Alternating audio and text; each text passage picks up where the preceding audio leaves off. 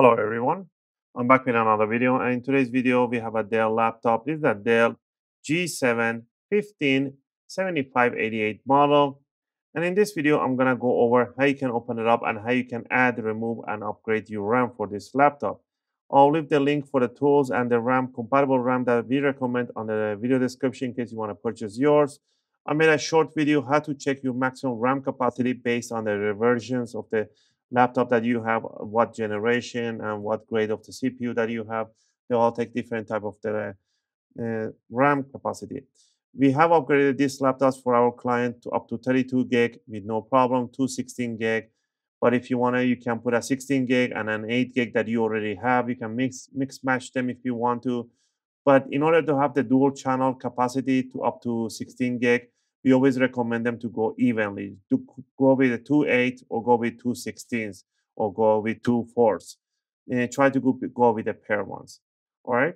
And the BIOS will adjust its RAM speed to whatever max RAM capacity speed that it can handle automatically. So if you put a 3200 megahertz, it might lower down to 266 because that's at its max capacity speed that it can handle on that gigabytes. So you have a 16 gig, maybe it can handle lower speed. The more gigabytes of the RAM you put on these laptops, the lower the RAM speed will go. Just remember by removing the RAM and placing, you don't have to do any more configuration. It's pretty much plug and play. So power off the laptop completely, make this off.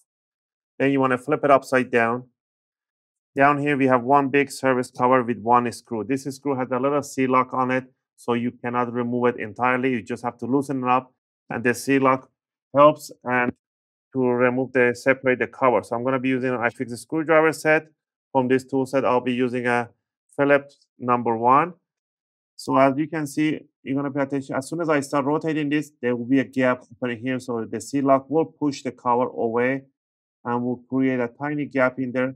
So you can stick. Once you hear that click sound here, you can do a few more and stop. Now you put your finger in there, in the middle, and bring it up so you can give this kind of curvature to the side. So you want to give this, bring it up and really hard, and you're going to hear this click sound. You're not breaking, you're just snapping those uh, clips loose on the side. So put the bottom cover to one side, and down here we can see the two RAMs. People always say, why don't you disconnect the battery? You do not need to disconnect the battery to do RAM upgrade. It's absolutely not necessary.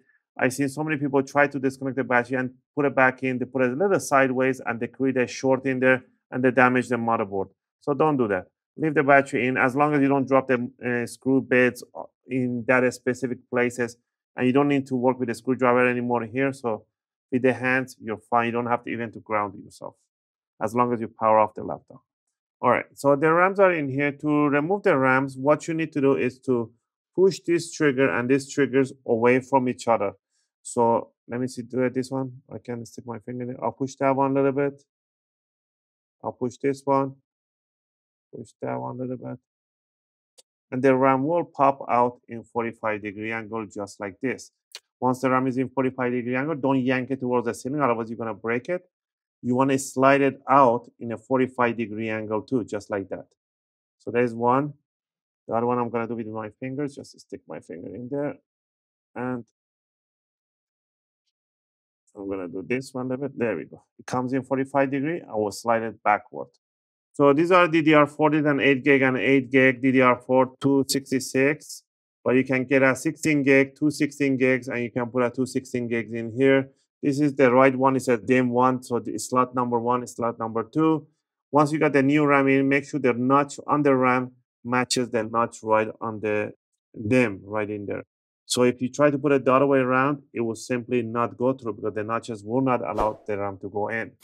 When you want to rotate, doesn't matter the orientation, the sticker, anything like that. So you want to make sure the notch matches. You want to bring it down in 45 and you want to push it all the way inside the connector and then simply push it towards the motherboard and you want to hear triggers open and close softly and they stay, stay straight. Same thing in here. So bring it down in 45. Nope wrong orientation.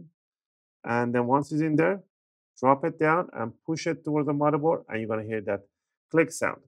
Now, people always say, I always tell people that once you put a new RAM in, you power on, you have to wait up to 30 seconds for the motherboard to do a mem check.